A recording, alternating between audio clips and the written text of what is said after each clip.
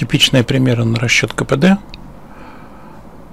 Полезная работа – это работа, совершенная газом за процесс. Это работа внутри графика цикла замкнутого.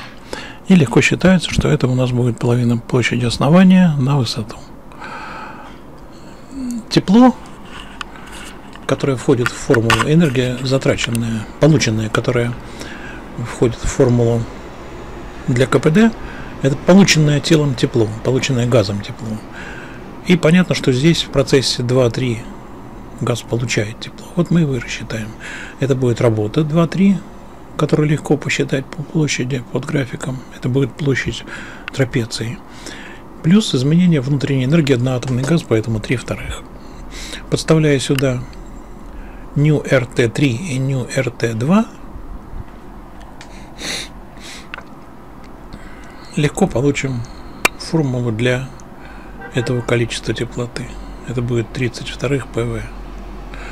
В процессе 3.1 и в процессе 1.2 газ отдает тепло, поэтому мы их считать не будем.